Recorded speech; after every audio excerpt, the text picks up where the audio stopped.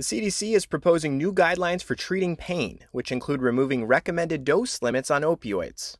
So, what the CDC is trying to do is to try to make the use of opioids for pain control safer and more effective. What the CDC has recommended is an individualized weighing of risks and benefits of opioid therapy, of dose increases, etc. The guidelines encourage prescribing non opioid therapies to treat pain as a first option when possible, but some hurdles exist. There are, in fact, multiple non opioid drug therapies as well as non drug therapies for chronic pain, proven to be effective. I think we're still working on getting good insurance coverage for them and availability. As I frequently say, every teeny little town in the state of Washington has a pharmacy, and they have opioids.